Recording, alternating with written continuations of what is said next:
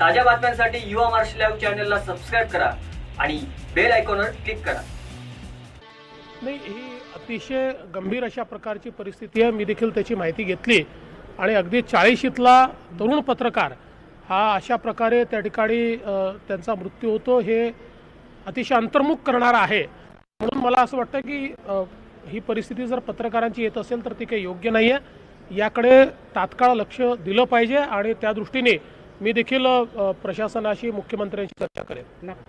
देशात काम करणारी तीन भाषीय वृत्तवाहिनी युवा महाराष्ट्र वृत्तवाहिनीला युट्यूबवर सबस्क्राईब करा.